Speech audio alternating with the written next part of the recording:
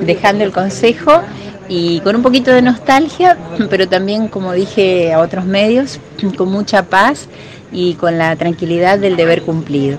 Fueron dos mandatos consecutivos, ocho años, que no es poco, y que muy agradecida, lógicamente, a la comunidad san carlina porque me brindó esta oportunidad de representarlos, de ser su voz durante dos periodos.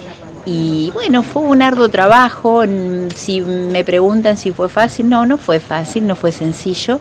Creo que mm, eh, poder estar a la altura de las circunstancias implica capacitarse, implica dejar cosas personales. Em, bueno, eh, supongo que todo eso al menos intenté hacerlo y algunas cosas las logré. Eh, junto a mi compañero de bloque presentamos muchos proyectos.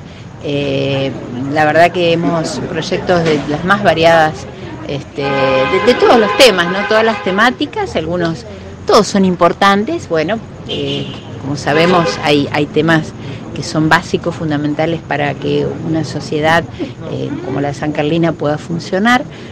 Pero bueno, uno puede cumplir con el deber, pero a veces, lamentablemente, la legislación es letra y para que se cumpla eh, ya no depende de los concejales, depende del departamento ejecutivo. Entonces, bueno, por ahí nos llevamos un sabor amargo, eh, porque bueno, hay mucha legislación en San Carlos que no se cumple o no se controla. Eh, yo estoy armando, lógicamente, una serie de, un escrito mío personal, porque considero que voy a rendir cuentas y debo rendir cuentas, como lo voy a hacer también el último día de mi vida, como lo vamos a hacer todos, porque hay un juicio final.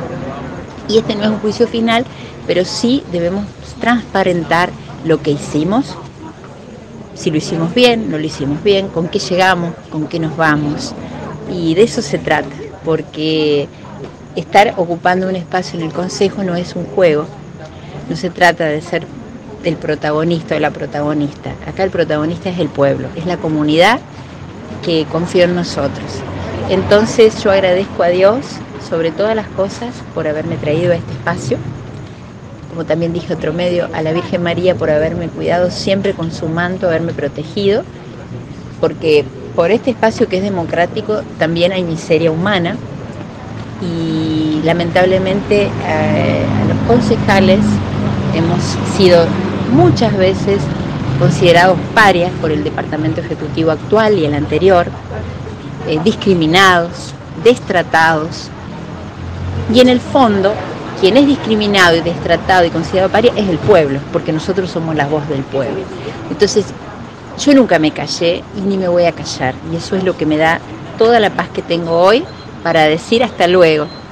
Porque no es un adiós. Yo voy a seguir caminando por estas calles en libertad, saludando a todo el mundo como lo hice desde hace 25 años que vivo en esta bendita ciudad de paz y trabajo. Y voy a seguir apostando para que siga siendo una ciudad de paz y trabajo. No creo en las divisiones, soy una mujer de la democracia, voté por primera vez hace 40 años, porque tengo 60 años, y en bandero la democracia es, es mi bandera eh, y la libertad eh, de expresión y por eso a mí las diferencias políticas no me generan enemigos, todo lo contrario.